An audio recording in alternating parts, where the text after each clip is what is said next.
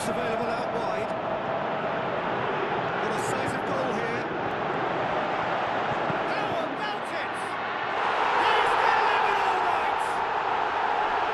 There, just wasn't much of a gap to begin with, and to find it, I think it was a fine drive, and I don't think the keeper could have really planned for that. I think he's a bit unlucky in that.